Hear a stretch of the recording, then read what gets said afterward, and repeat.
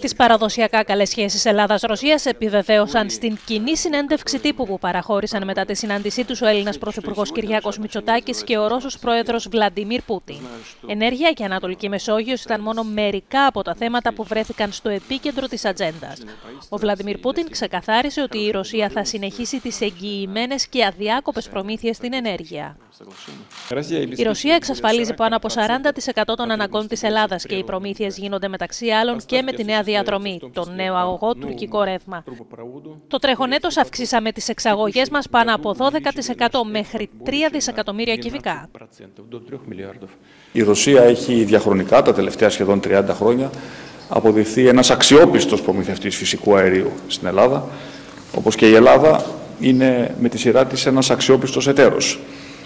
Και ο πρόεδρος Πούτιν το γνωρίζει καλά αυτό, καθώς αφορά μία διάσταση της συνεργασίας με τρίτες χώρες, στην οποία ο ίδιος αποδίδει προσωπικά μεγάλη σημασία ε, και είναι σημαντικό, παρά το ευμετάβλητο ε, των όρων της αγοράς, ε, οι όποιες προσαρμογές στην προμήθεια φυσικού αερίου να μην αποκλίνουν σημαντικά από την υφιστάμενη συμφωνία. Στις συζητήσεις έγινε αναφορά στην επιθετική στάση της Τουρκίας, στην κατάσταση που επικρατεί στην Ανατολική Μεσόγειο αλλά και στο Κυπριακό.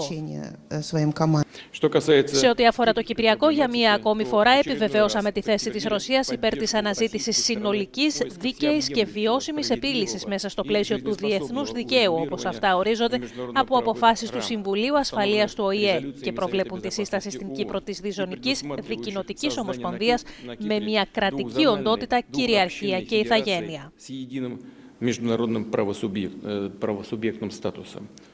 Επισήμανα ότι δυστυχώς η Τουρκία όχι μόνο προβαίνει σε εμπριστική ρητορική διαστρεβλώνοντας την ιστορία και τη γεωγραφία αλλά δυστυχώς και σε επιθετικές ενέργειες που παραβιάζουν το διεθνές δίκαιο και πολλές φορές ναρκοθετούν τη σταθερότητα στην περιοχή.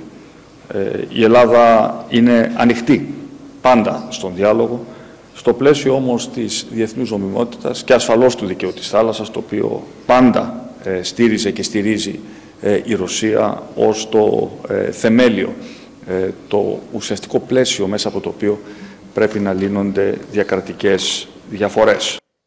Κατά τη διάρκεια της συνάντησης Πούτιν Μητσοτάκη υιοθετήθηκε το κοινό πρόγραμμα δράσεων για τα έτη 2022-2024 που θα προσδιορίσει τους βασικούς άξονες διμερούς συνεργασίας για τα επόμενα χρόνια.